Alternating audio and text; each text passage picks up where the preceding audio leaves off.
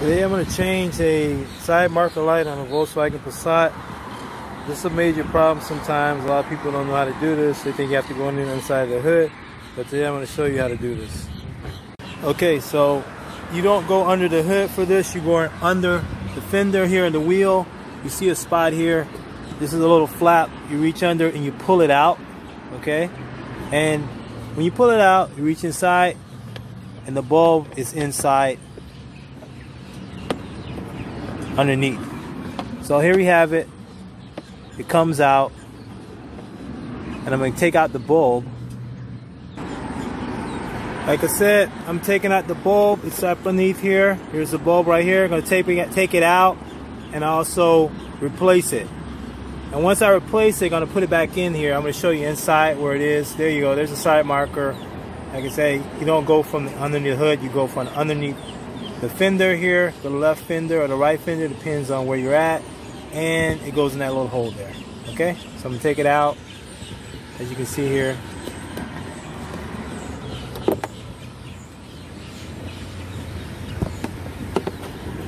It's gonna come out.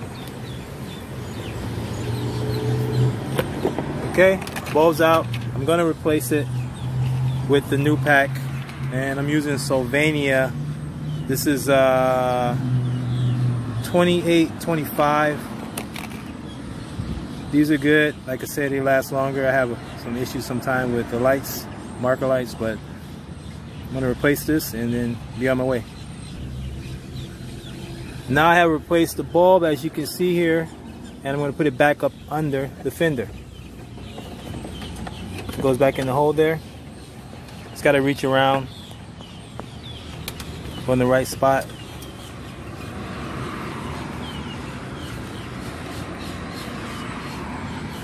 And once it's in, there it is, secure. You can see that. It's not going anywhere. One thing to be mindful of, you see this little piece, you grab that, and you're gonna push it up into the hole. When you push up in the hole, you can look on the outside and you can see where the bulb is actually. Here we go. I'm, I'm gonna take it out again so you can see it. Wiggle it out. Okay, it's out. As you can see, I'm going to put it back inside, up under the fender, wiggling it gently. And if you look around to the front, you can see me. You can see it actually coming out there. You see that? It's kind of sunny out here. I'm in the in Florida, but you can see closely where it comes out. And if it's snugly, there you go. See that? Coming out. There you go. And last but not least, you can see it's not sticking out here. If you look a little closer, you can see this is where it is. It's in here, it's wiggling. Okay. And just one more time, just to help you out, you see the bulb there. Okay. I'm gonna put the flat back where it belongs. Nice and snug. Without having interference with the tire. Okay? Now snaps in there. Gently, okay? One moment.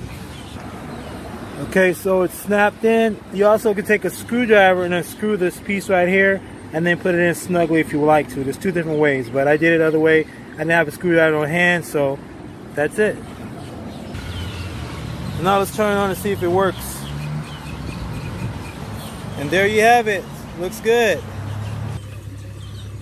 And like I said, you normally will have that little indicator here. It'll tell you if there's a problem with the light.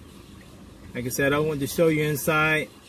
Here it is. I don't have it anymore. Before I had it, and it's complete. So, hope you enjoyed this video. Hopefully it'll help you. Uh, common problem that a lot of people don't know how to, to solve. So, thanks for viewing and subscribe.